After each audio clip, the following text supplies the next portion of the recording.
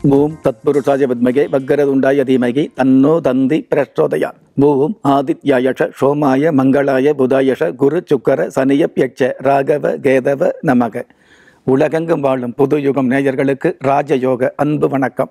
நிகழ்ச்சியை பார்த்துக்கிட்டு இருக்கிற உங்களுக்கு குலதெய்வாசையும் நவகிரக அனுகிரகமும் முழுமையாக கிடைக்கணுங்கிற பிரார்த்தனையோடு உங்கள் ராஜயோகம் doctor K. Ram. Astro three sixty நிகழ்ச்சியில் இன்றைக்கி நம்ம பார்க்க போகிறது சனி பகவானை பற்றி தான் இந்த சனி பகவான் அப்படிங்கிறது முதல் சனியாக வரும் பொழுது மங்கு சனின்னு சொல்கிறாங்க இரண்டாவது சனியாக வரும் பொழுது பொங்கு சனின்னு சொல்கிறாங்க மூன்றாவது சனியாக வரும் பொழுது மரண சனின்னு சொல்கிறாங்க அப்போ மூன்றாவது சனி வரும் பொழுது எங்களுக்கு மரணம் வந்துருமாங்கிற கேள்வி நிறைய பேர் கேட்டு இருக்கீங்க பொதுவாகவே சனி பகவான் வந்து மரணத்தை கொடுக்க மாட்டார் அப்படிங்கிற விஷயத்தை நிறைய முறை சொல்லியிருக்கிறோம் நிறைய நிகழ்ச்சியில் சொல்லியிருக்கிறோம். ஏன்னு கேட்டிங்கன்னா அதாவது சனி பகவான் ஆயுள் காரகன் என்ற ஒரு ஆதிபத்தியத்தை வாங்கி வரதுனால முடிஞ்ச அளவுக்கு ஆயுளை கெடுக்க மாட்டார். ஆயுளை கொடுக்கக்கூடிய வல்லமையோடு தான் இருந்துகிட்டு இருப்பாங்கிற விஷயத்தை நாம் தெரிஞ்சுக்கலாம். ஒன்று அதே மாதிரி இந்த முதல் சனி மங்கு சனி இரண்டாவது சனி பொங்கு சனி மூன்றாவது சனி மரண சனி அப்படிங்கிறது வந்து கண்டிப்பாக எந்த ஒரு சாஸ்திரத்திலையும் அந்த மாதிரி குறிப்பிட குறிப்பிட கிடையாது. முதல் சனி மங்கு சனின்னு நாமவே அதாவது ஜாதகம் பார்க்கக்கூடிய ஒரு சில ஜோசியர்கள் வந்து நம்ம சொல்லிக்கிறது எப்படி கேட்டிங்கன்னா இந்த முதல் சனி மங்கு சனி அது ஏழரை சனி வந்து எப்போ வந்தாலும் உங்களுக்கு உலக அனுபவங்களை கொடுத்து தான் ஆகணும். அப்படி இருக்கும் பொழுது அந்த முதல் சனி மட்டும் மங்கு சனி அப்படிங்கிறது எதனால் சொல்கிறோம் அப்படின்னா முதல் முதலாக ஒருவருக்கு கஷ்டம் வரும் பொழுது அந்த கஷ்டத்தை தாங்கிக்கூடிய பக்குவம் இருக்காது இல்லையா? அப்போ சின்ன சின்ன கஷ்டம் வந்தால் கூட அந்த கஷ்டத்தை வந்து இது பெரிய கஷ்டமாக தெரியக்கூடிய ஒரு பூதாகரமாக தெரியக்கூடிய அமைப்பு தான் இருந்துகிட்டு இருக்கும் எந்த வயசாக இருந்தாலும். அஞ்சு வயசில் ஏழரை சனி வருது ஐம்பது வயசுல ஏழரை சனி வருது அப்படிங்கிறது விட எந்த வயசுல ஏழரை சனி வந்தாலும் முதல் முதலாக ஏழரை சனி வரும் பொழுது அந்த சனி பகவான் கொடுக்கக்கூடிய உலக அனுபவங்களை நம்ம தாங்க முடியாமல் இருக்குங்கிறத நம்ம தெரிஞ்சுக்க வேண்டிய விதி. அந்த வகையில் இந்த சனி பகவான் வந்து முதல் முதலாக ஏழரை சனியாக வரும் பொழுது உங்களுக்கு முதல் முதலாக கஷ்டம் வரும் பொழுது இதுதான் கஷ்டமா இதுதான் கேவலமா இதுதான் அவமானமா இதுதான் நம்பிக்கை துரோகமா இதுதான் குடும்ப பிரிவா இதுதான் வந்து உறவு சம்பந்தப்பட்ட வகையில் உண்மையான விஷயத்தை தெரிஞ்சுக்கக்கூடிய அமைப்பா அப்படின்ற பல்வேறு விதமான விஷயங்களை தெரிஞ்சுக்கக்கூடிய பல்வேறு விஷயங்களை உங்களுக்கு அனுபவமாக கொடுக்கக்கூடிய அமைப்பில் தான் ஏழரை சனி அப்படிங்கிற அமைப்பில் சனி பகவான் வர்றார். இதில் வந்து முதல் சனி மங்கு சனிங்கிறது வந்து உங்களுக்கு வந்த உடனே உங்களுக்கு எடுத்துருவார்னு கிடையாதுங்க. கண்டிப்பாக சனி பகவான் வந்து முதல் முதலாக கஷ்டத்தை கொடுக்கும் பொழுது உலக அனுபவங்களை கொடுக்கும் பொழுது உலக அனுபவம் என்று சொல்லக்கூடிய அந்த விஷயம் தான் நாம் எல்லோருமே கஷ்டம் கஷ்டம்னு சொல்லிகிட்டு இருக்கிறோம். அந்த முதல் முதலாக கஷ்டப்படும் பொழுது அந்த கஷ்டம் பூதாகாரமாக தெரியும் அப்படிங்கிறது யதார்த்தம். அதே சனி பகவான் இரண்டாவது சனியாக வரும் பொழுது அதாவது முப்பது வயசுக்கு மேலே ஒருவர் ச- ஒரு ஒருவருக்கு இந்த ஏழரை சனி வந்தது அப்படின்னு வைங்களே அது இரண்டாவது சனின்னு சொல்கிறத விட பொங்கு சனின்னு ஒரு பேர் வச்சிருக்கிறோம் பொங்கு சனி அப்படின்னு கேட்டிங்கன்னா சனி பகவான் இரண்டாவதாக வரும்பொழுது உங்களுக்கு அள்ளி அள்ளி செல்வம் கொடுத்துட்றான்னு எடுக்க முடியாது.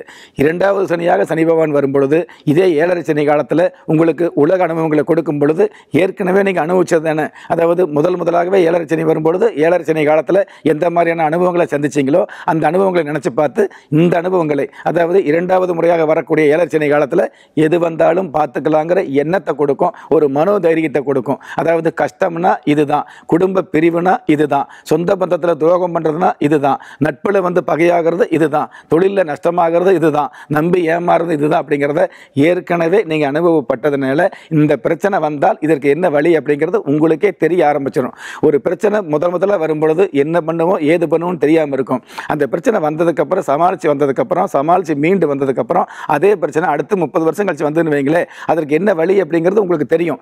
அதாவது நீங்கள் மலிவான ஒரு பிரச்சனை வந்தால் கூட தெளிவான இருக்கக்கூடிய ஒரு அற்புதமான அமைப்பை வந்து இந்த சனி பகவான் முதல் சனியாக வரும்பொழுது கொடுத்துட்டு போயிடுறாரு. இரண்டாவது சனி வரும்பொழுது சனி பகவானை வந்து நீங்கள் வந்து அதாவது சங்கடம் இல்லாமல் அந்த சனி சனி பகவானுடைய தாக்கத்தை சந்திக்கக்கூடிய மனோபக்குவம் வந்துடுது அவ்வளவுதான். அதற்காக பொங்கு சனி அப்படிங்கிற பெயர் வச்சுக்கிட்டு நம்ம சந்தோஷப்பட்டுக்கிட்டு எதிர்பார்த்து காத்திருக்க வேண்டியதில்லை.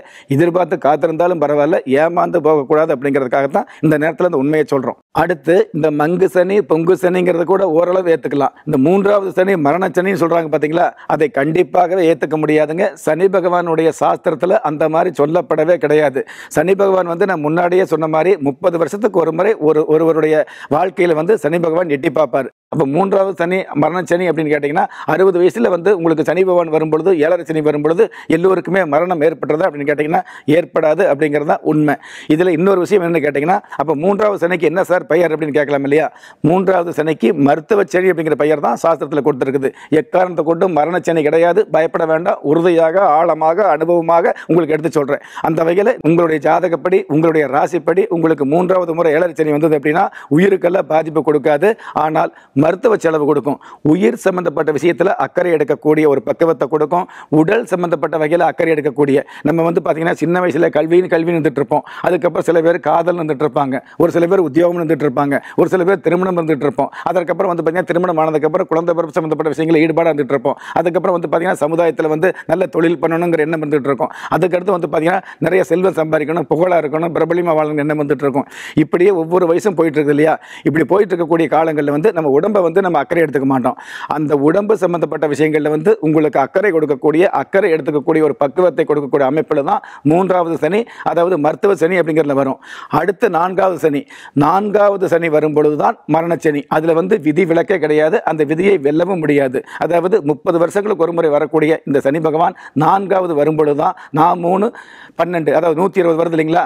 அந்த நூற்றி இருபதாவது வயசுக்கு மேலே தான் யாருக்கும் ஆயுள் காலம் கிடையாது. நீங்கள் எவ்வளவு பெரிய அதிகாரத்தில் இருந்தாலும் எவ்வளவு எவ்வளவு பெரிய அரசியல் இருந்தாலும் எவ்வளவு பெரிய செல்வந்தராக இருந்தாலும் ஏன்? எவ்வளவு தான் நீங்கள் தான தர்மம் செஞ்சிருந்தாலும் நூற்றி இருபது வயசுக்கு மேலே வாழ முடியாது. நூற்றி இருபது வயசு தான் ஆயுள் காலம் அப்படிங்கிற விஷயத்தை இந்த நிகழ்ச்சியில் உங்களுக்கு திரும்ப திரும்ப எடுத்துச் சொல்லி ஒரு மனுஷனை யார் கைவிட்டாலும் ஆன்மீகம் கைவிடாதுங்கிற என்னுடைய ஆழமான ஆன்மீகத்தையும் பதிவு செய்து அகில உலகத்தில் உள்ள அத்துண தெய்வங்களின் அனுகிரகமும் ஈரேல் உலகத்தில் உள்ள எல்லா சக்திகளின் ஒட்டுமொத்த ஆசீர்வாதங்களும் உலக மக்கள் அனைவருக்குமே கிடைக்க வேண்டிய பிரார்த்தனையோடும் வாழ்த்துக்களோடும். உங்கள் ராஜயோகம் டாக்டர் கே ராம்.